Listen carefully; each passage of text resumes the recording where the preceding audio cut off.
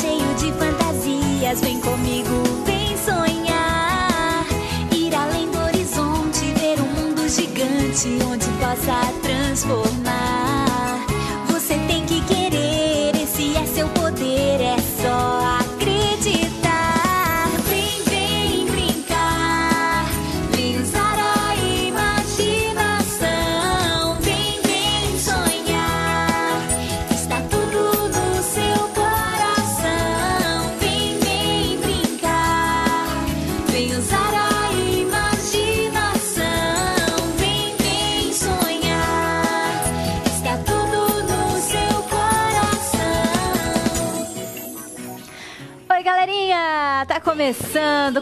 Começando o nosso Hora de Brincar. É, bem-vindos a mais esse programa, hoje acompanhada de... Alguém me explique? Alguém me explique? Do Tutucão. tá aqui, tá aqui o Giliardi hoje disfarçado. Vai lá, Giliardi, pega o microfone. Enquanto isso, eu vou falar com quem tá em casa. Quem tá em casa que adora o nosso Hora de Brincar e quer participar, ficar sempre bem pertinho da gente, não tem segredo, viu? Você pode participar através do site danipink.com.br, também lá através do Twitter, mandando a sua mensagem pra arroba Dani Pink, ok? É isso mesmo, é isso mesmo. E tá aqui. Tá aqui. Hã, Vem cá. Vem cá. Quem é você? Tutucão. Mas peraí, o Tchutchucão é o cachorro da Xuxa. A Xuxa vai ficar brava comigo? Não, ele morde de você falar aquilo. Ele morde? Ai, meu Deus do céu, eu tô apanhando do Tchutchucão. socorro, socorro.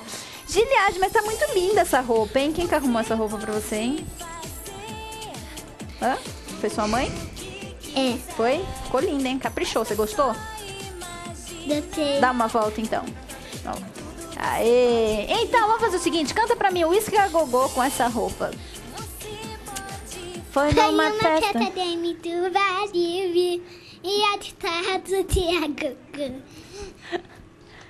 À meia-noite só. Tá em bilbes. É aquele tempo que você. Senti na Que era pele. tua energia. Quando peguei. de- Que isso? Que isso? Ficou doido? Ficou doido? Tá aí. Esse é o Giliard hoje me ajudando aqui no nosso Hora de Brincar e disfarçado de cachorro laranja. Bonitinho, né, gente? Ele tá disfarçado assim porque ele vai me ajudar agora. Ele vai me ajudar agora, nesse momento animal. É isso mesmo. Giliard vai me ajudar com a nossa curiosidade animal de hoje. Vamos ver qual é a curiosidade animal aí na telinha.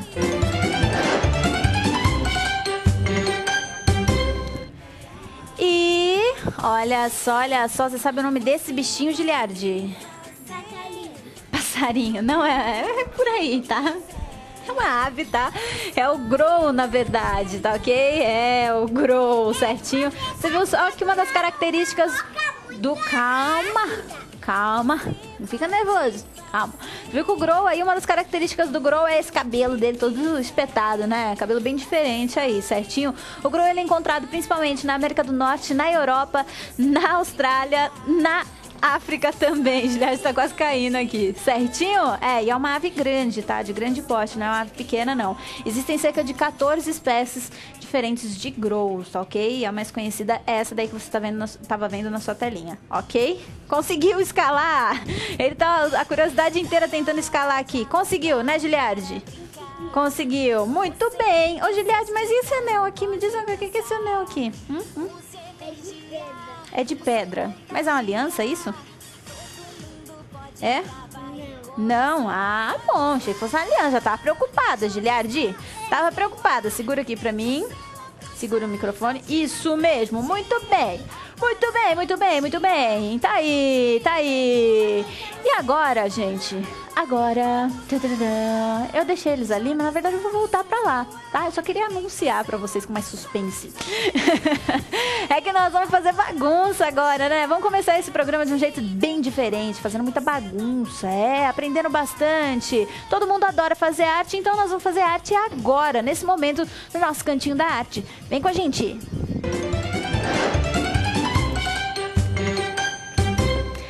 Muito bem, tá aqui que bonitinho. Ó, ó, ó, olha que bonitinho o nosso cantinho da arte de hoje, ó. Ah, são iminhas, tá? De geladeira.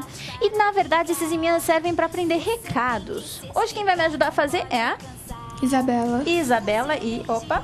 E. A Vitória. Vitória. Muito bem, você é arteira, Vitória? Sim. É, e você, Isabela? Uhum. Muito bem, segura aqui então. Ó, então nós vamos precisar de prendedores, certinho? Então, prendedores como esse daqui, tá? Primeiro passo, você vai pegar a cola e vai forrar os prendedores, ok? Então, por exemplo, para fazer a ovelhinha ali, eu vou forrar o prendedor de branco, ok? Aí eu vou forrar dos dois ladinhos, tá? Ó, já tá cortadinho aqui do tamanho certinho. Opa, opa, opa. O tamanho certinho do prendedor, tá? Agora aqui, ó, na parte de cima, você já vem, passa mais um pouquinho só de cola e cola uma bolinha pro rostinho, mas ela já tem até o formato. Opa! Ela já tem até o formato das orelhinhas, tá ok? E aqui em cima você cola o cabelinho da ovelha, tá? Na parte de trás, você vai pôr um pouquinho de cola e vai colar o iminha, tá? Lembrando que sempre você tem que ver direitinho em casa o lado que vai grudar o iminha na geladeira, tá? Na geladeira, né? Ou no seu mural lá de ferro, tá ok? Então, ó, cola aqui direitinho, deixa secando, tá? Eu vou deixar desse jeitinho, enquanto isso eu vou mostrar ali o leãozinho também, que é super simples, ó. Então, pra fazer o leãozinho, você vai forrar a parte de baixo aqui, tá? Primeiro o prendedor, certinho. O outro lado aqui também, tá? E, e, e, e, e. Fácil, né? Super tranquilo, ó. E aqui, você vai pegar uma juba.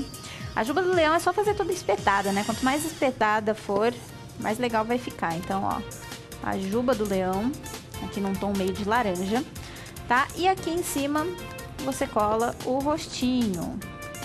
O rostinho você faz no bege, certo? E aí você pode fazer os olhinhos, tá? Então os olhinhos você vai fazer do jeitinho que você quiser. Hum, fazer assim de um jeitinho bem simples, tá? Pra mostrar pra vocês, ó. Então, por exemplo, você vai fazer aqui os olhinhos assim, ó. Desse jeito. Pode fazer o narizinho um triângulo. E aí você faz a boquinha, certo? Se quiser, você pode fazer até o bigodinho dele aqui de canetinha, tá? Mas, se você quiser também, você pode usar arame para artesanato e fazer um bigodinho diferente, tá ok? Então, você vai fazer o rostinho do jeito que você preferir, certo? Depois que tiver tudo seco, tudo bonitinho, você tem aí os prendedores, tá? Que, na verdade, estão disfarçados ali de animais, igual o Giliário que está disfarçado hoje de cachorrinho, né? E eles vão prender ali todos os seus recados. Certinho? Então essa é a nossa dica de Cantinho da Arte de hoje. Quem quiser ver mais dicas, é só entrar lá no site que tem mais dicas pra vocês. Gostou da dica? Gostei. Fácil, né? Uhum. Muito fácil. E você gostou, minha linda? Sim. Ah, e o Giliade gostou? Gostei. Gostou. gostei, gostei, gostei. E eu gostei, porque ele é lindo. Vem cá, vem cá. Isso mesmo. Vem aqui, as minhas duas princesas também me ajudaram no cantinho. Onde você vai, Giliade? Vem cá. Vem cá comigo, vem cá. Ele vai sentar, tudo bem. Ele vai sentar lá e eu vou ficar aqui com as minhas duas princesas, tá? Nós vamos aproveitar, prestar muita atenção na telinha agora para conferir, gente, uma matéria muito especial que nós fizemos lá nos estúdios Maurício de Souza. Mais uma vez, aquele super abraço para toda a equipe, viu? E hoje você vai aprender, vai aprender a desenhar essa turminha aí super legal. É isso mesmo. É hora da nossa matéria, então vamos conferir na telinha. Começa com uma oval, que não é nem um círculo, nem muito achatado, né? É uma oval, uma oval regular. A gente vai repetir essas mesmas medidas para baixo. Então a gente vai repetir essa oval uma vez, duas vezes. Na terceira a gente vai cortar ao meio aqui. Essa é a altura do personagem. Pode ser o Cebolinha, pode ser a Mônica, o Cascão. Então essa é a medida básica deles. A partir daqui, a gente vai pegar essa distância aqui da cabeça até a base aqui, vai achar o meio dessa. A gente já achou o tamanho do corpo do personagem. Vou dar uma apagadinha aqui. Já vai começar a aparecer. Personagem tem que ficar bem arredondado, bem com traços suaves, né? No meio da cabeça é, a gente localiza os olhos.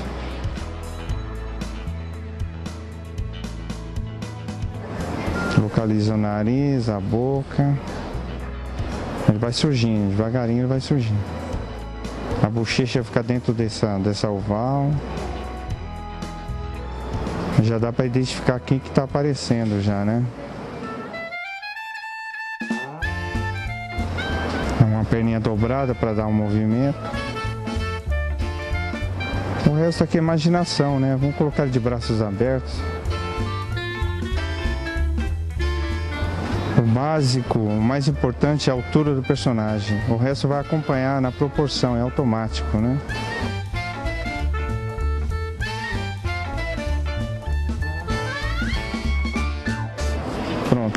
Basicamente, essa é a construção do Cebolinha, que serve também para Mônica, para o Cascão, para o Chico Bento.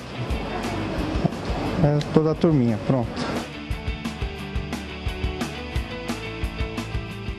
Viu só como é fácil desenhar essa turminha? É, turminha super aventureira? Então, já sabe a dica, né? Agora é só praticar na sua casa. Você tem o DVD deles? É, e quem que tava lá no desenho?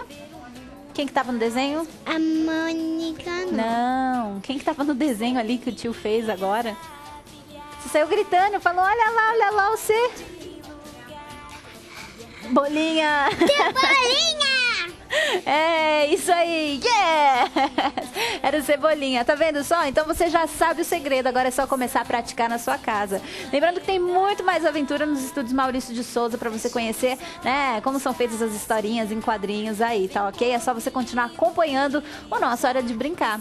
Bom, nós vamos fazer a nossa pausa agora, tá? Nosso intervalo super rápido, mas você já sabe que tem que ficar muito esperto, tweetando bastante pra gente, que daqui a pouquinho nós voltamos com muito mais. Até já!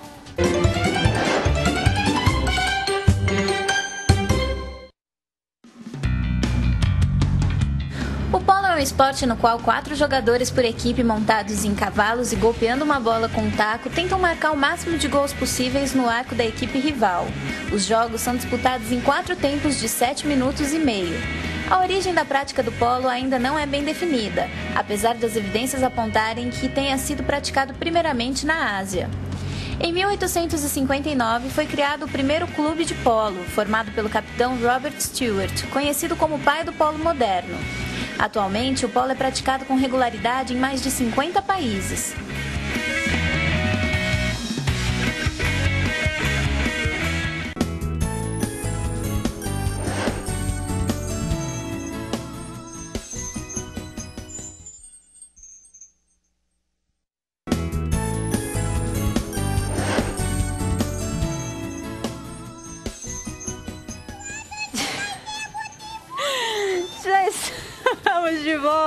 Volta! Estamos de volta. Peraí que ninguém ouviu o que, que a Belinha falou. O que, que a Belinha falou, Giliardi?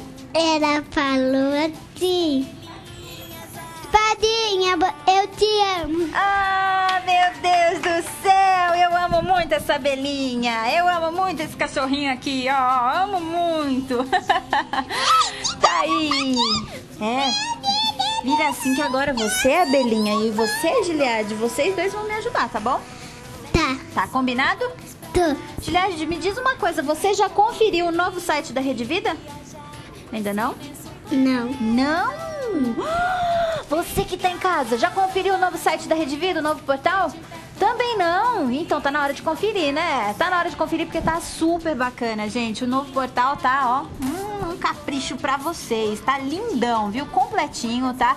Sem contar que assim que acabar o nosso programa, você vai poder entrar lá no site da Rede Vida, redevida.com.br e conferir esse programa inteirinho desde o começo, assistir quantas vezes você quiser, mandar pros seus amigos certinho. Vai poder assistir, se divertir bastante, rever suas artes, né, favoritas, rever os seus cantores favoritos se apresentando aqui no programa. Então tá tudo lá certinho. Lá você vai encontrar tudo, como você participa do programa, dicas de arte, enfim, vai encontrar maneiras para ficar mais pertinho da gente. Então, se ainda não conferiu o novo portal da Rede Vida, pode entrar, é redevida.com.br. Sem contar que todos os dias você consegue assistir ao vivo também, clicando lá no botão assistir ao vivo, o nosso hora de brincar, viu? É, ó, tem loja virtual, tem um monte de notícias, né, pro papai pra mamãe. É a Rede Vida caprichando aí no novo portal, então você tem que conferir, não pode perder de jeito nenhum, tá bom? É isso mesmo. Agora ele concentrou ali com a tá concentrado. E eu vim pra cá. Eu vim pra cá, gente, porque eu quero receber aqui, ó, esses meninos maravilhosos. Tudo bem com vocês? Oi, tudo. Lindos, né? Banda Fire Hands aqui mais uma vez no nosso programa. Vocês não cansam de mim, não? Não, de jeito nenhum? Claro que não. ah, bom, ah, bom, porque eu também não canso de vocês de jeito nenhum, tá? Porque eu acho o trabalho de vocês lindo, admiro mesmo, sou fã e é por isso que eles vão cantar aqui mais uma vez. Pedrinho, tô sabendo que vocês prepararam uma música mega linda, maravilhosa pra cantar hoje aqui, não é não? É, do Bruno Mars. Tchê, não, fala sério, presta atenção. Atenção, você olha esses meninos aqui, quantos anos vocês têm mesmo? 12. 12. Esses meninos de 12 anos, né? Você fala assim, poxa, mas estão com violão na mão, tudo cheio de mar. Será que eles dão conta mesmo de tocar bonitinho, de cantar direitinho? Quem ainda não conhece essa banda, vai ficar é de boca aberta, de queixo caído, é agora. Porque vocês vão ver o talento que esses meninos têm. Vocês estão prontos? Claro. Tá tudo certinho? Sempre, eu gostei de ver, tá pronto? Sim, claro, sempre. Então tá bom. Então bora conferir essa super apresentação da banda Fire Hands aqui no Nossa Hora de Brincar. A gente Com vai vocês. cantar agora Talking to the Moon, do Bruno Mars. Hum, vamos lá.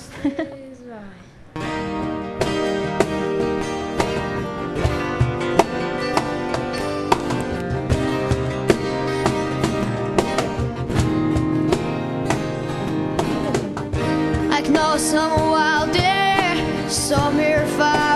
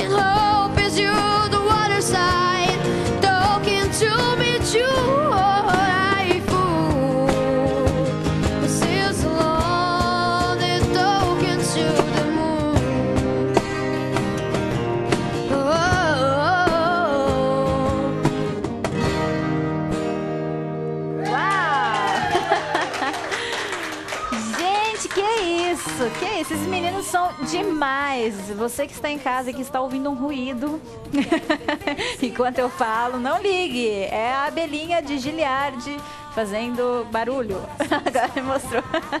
Ele tá super distraído, concentrado ali com a abelhinha.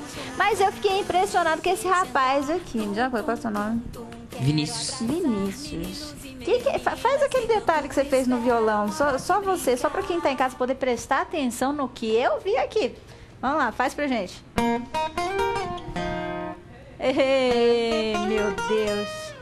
Que isso, né? Que isso? Merece aplauso, merece aplauso. É o resultado de estudar violão erudito há 5 anos. Tá vendo? Cinco anos já estudando violão? Já. É, e, e- Quatro anos e meio. E por que que começou essa história com violão? Conta pra mim. Tem alguém na sua família que já tocava violão ou, ou não? Começou por... Meu pai, meu pai toca. Seu pai toca? Daí um dia, era bem pequenininho, ele mostrou o violão pra mim, eu fui correndo assim. Daí comecei a balançar a corda assim. E depois eu na aula. Foi na aula e agora você toca que é uma maravilha, né? agora, outra pessoinha aqui que toca muito também. Aliás, todos vocês tocam muito, né? Mas eu fiquei impressionada com esse menino tocando acordeon. que isso, Pedro? Quando você veio aqui, você não falou pra gente que tocava acordeon. Eu achei que ele tocava só violão. E aí fez uma participação essa semana com o Saulo Roston aqui no nosso programa. Enquanto isso, o cachorrinho passeia pelo cenário. E fez uma apresentação com o Saulo Roston. Verdade. Gostou de fazer essa, essa participação? Amei, aliás, era meu sonho conhecer o Saulo Roston. Canta muito, rapaz, não canta? muito. E não ficou nervoso, não? Não. Conta pra mim, assim, quem é um, um- um grande ídolo, um grande ídolo de vocês aí que vocês querem conhecer, um dia tocar junto uma banda? Ah, eu sou muito fã. Eu tenho dois lados, o lado sertanejo e o lado rock and roll. Mas é, em questão do sertanejo, é, Ah. era meu sonho conhecer o Zezé de Camargo, graças a Deus eu conheci. Mas também do lado do rock and roll, é, eu já conheci a banda Fresno, conheci o Solo Roston e agora é, um dia, se Deus quiser, conheço o Guns N' Roses, mas Ah, difícil alcançar. é nada bobo, né, gente? Só, só quer conhecer Guns N' Roses, só isso, gente. tá aí, meninos. Eu adorei recebê-los aqui mais uma vez, viu? Brigadão, vocês são demais. Espero que vocês voltem muito aqui ainda. É, eu queria mandar um abraço pro meu web designer, Alcides Abreu, e pro, pro Jarson, que tá aí me assistindo. Eu não. Eu não tenho um desse daí, web designer. Tem não. Mas eu conheço um que vai começar a fazer pra mim, né, Fabinho? Bom, tá aí, tá aí, meus amores. Brigadão. Você que tá em casa, eu só tenho a agradecer também a sua companhia. Mais um dia incrível, viu? Pertinho de vocês. Lembrá-los que amanhã tem muito mais e que você já pode conferir esse programa na galeria de vídeos lá da Rede Vida, certinho? Tô te esperando no Twitter, no arroba Pink. E amanhã aqui pra mais um Hora de Brincar. Beijo e até lá. Tchau, tchau. Pertinho de vocês é tudo que eu sempre quis. Curtir a vida, fazer de tudo isso uma história colorida. Aproveitar.